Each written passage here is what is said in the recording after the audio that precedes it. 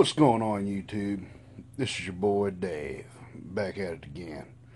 It's a little late, but I was like, you know what? A lot of people got good, funny feedback on me doing the epic keg stand on the uh, Facebook, and I even had a request to do a step-by-step play on what took place last night.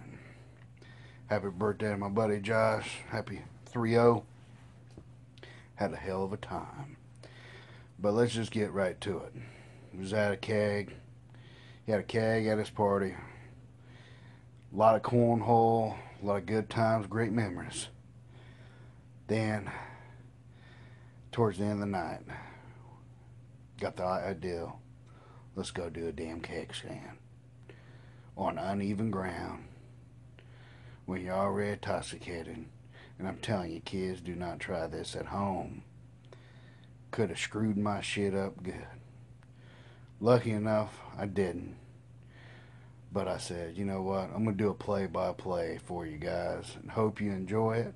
Everybody I have talked to that's seen it enjoyed it.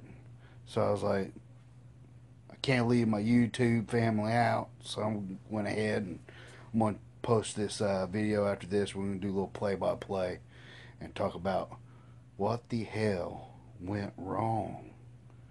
What went wrong? Whew. Man, I'm just glad that I'm starting to feel a little bit better. Too much to drink. Too much to drink. But until next time, you guys stay strong. Let's keep hitting bombs. Hope you enjoy the video. Let's do this play by play.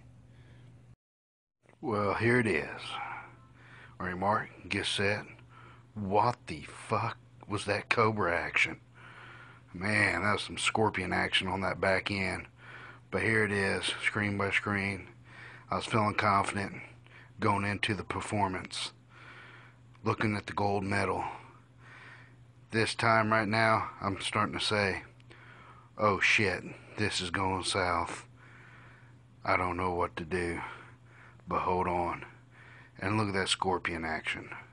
I mean, full tilt, back over, biting. I mean, and right here, I mean, that's like the Roadrunner cartoon when he gets just smashed.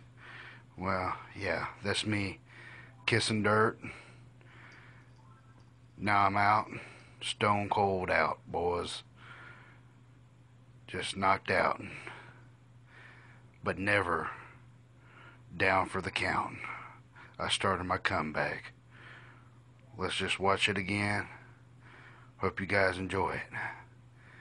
Don't try this at home.